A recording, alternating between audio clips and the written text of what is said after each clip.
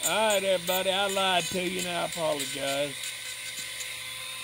Said this was hedge, but it's cedar. As soon as I started whittling on it, you could smell it. We're going to That's at the top of it? top of a head or I don't know. Huh. Just play it as we go. I might make something out of this little hook right here, or I may just take it off. Not sure. So, but it's shaping up. It's gonna be pretty nice. Might use vines all over it. Alright.